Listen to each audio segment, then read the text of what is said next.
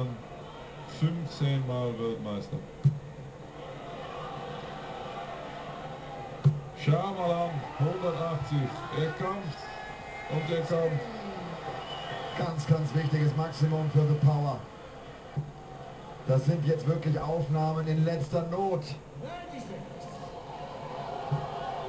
Ja, 4-3. 4-4, alles ist doch noch möglich.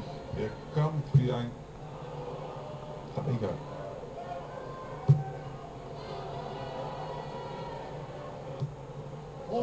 Oh, das war die Triple Ja, 1 das war abschließend. Triple 1, ja. Damit egalisiert er seine 180 von zuvor. Oh, und, Und jetzt Webster. noch einer, dann ist er im Finish-Bereich. Er braucht nur noch einer. Oh, 171. Taylor muss 108 Punkte mindestens werfen, um sich ein Checkout zu stellen. Das ist eins. Noch einer und dann ist er wieder im ersten, im Finish-Bereich. Das ist nicht genug. 100. Beide noch immer gleich, die Drück. Das wird immer er höher. winkt ab. Taylor winkt ab. Ja, aber die Drück ist noch immer da, glaub mir. Schau mal an, 25. Das ist nicht genug. 45. Das muss Phil benutzen. Hier muss der Minimum 100 werfen. Und da warten natürlich auf Webster jetzt auch noch die allerschwersten. Darts für ihn. Ja, die Finish. Ja, das ist es. 96, 82 jetzt. Seine 126. Chance. Die erste Möglichkeit zum Sieg über Taylor. 107 Rest. Triple 19 für Bull. Nein, Triple 7.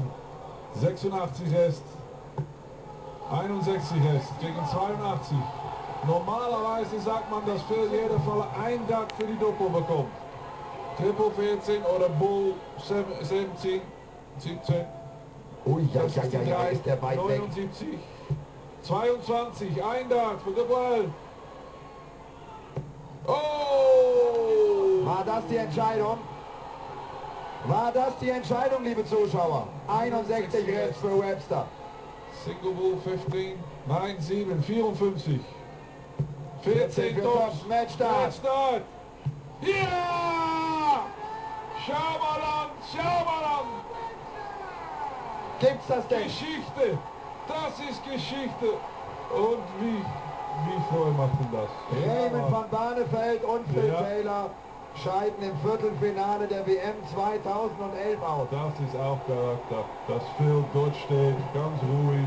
Er wüsste, dass er sehr schlecht gespielt hat für seine Weg. Mark Webster bezwingt The Power. Er revanchiert sich für das 0 zu 6 im letzten Jahr im Halbfinale. Und damit ist er also der Halbfinalgegner von Adrian Lewis. Adrian Lewis gegen Webster und Terry Jenkins gegen Gary Anderson.